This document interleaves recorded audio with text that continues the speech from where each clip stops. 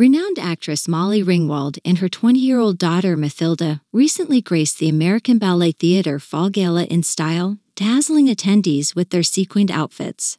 Molly Ringwald, celebrated for her iconic roles in classic 80s films like The Breakfast Club and 16 Candles, has also become known for her sense of style and fashion. She and her daughter Mathilda made a stunning appearance at the American Ballet Theatre Fall Gala. The mother daughter duo donned sequined outfits that sparkled as they walked the red carpet. Molly Ringwald wore an elegant, long sleeved black gown with intricate silver sequin detailing, while Mathilda looked equally radiant in a silver sequined mini dress. Their glamorous outfits and radiant smiles caught the attention of gala attendees and the media. The pair's ability to effortlessly blend elegance with modern fashion showcased their timeless appeal and fashion forward sensibilities.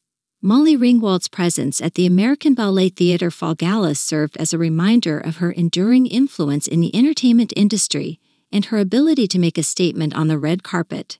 Her choice to attend the event with her daughter added a heartwarming touch to their appearance.